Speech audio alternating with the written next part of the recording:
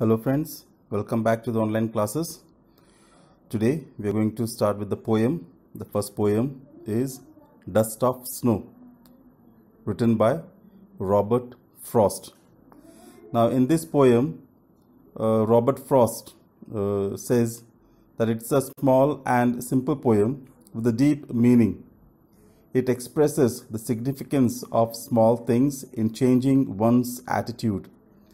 The poem explains that the little things in life can make huge changes in our future.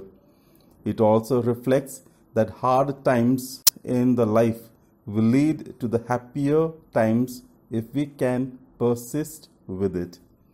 Now, listen to the poem carefully. There are two stanzas in this poem. First stanza I will read and then give the explanation, and after that, second stanza and the explanation of that stanza. So, listen carefully.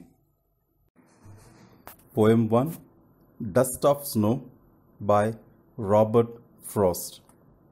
Stanza 1 The way a crow shook down on me the dust of snow from a hemlock tree. The poet Robert Frost recounts a small incident that changes his mood. It seems very simple, but it has a great significance.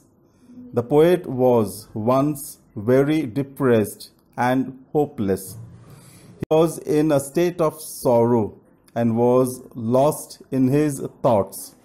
He was standing under the hemlock tree.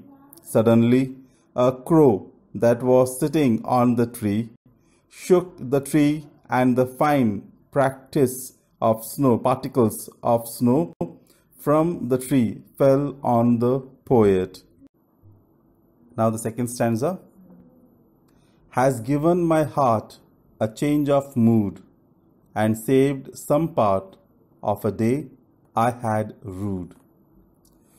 When the soft and cold snow fell on the poet, it changed his mood from the state of sadness to happiness. He started feeling soothed, that is, peaceful and refreshed. This simple incident helped him enjoy the remaining part of the day. He thus became happy as it saved his rest of the day from being wasted and held in regret. That's it. Now, uh, the homework for you just go through the poem very carefully and try to write the summary of this poem in your own words. That's your homework. Thank you. Stay home, stay safe. Have a nice day.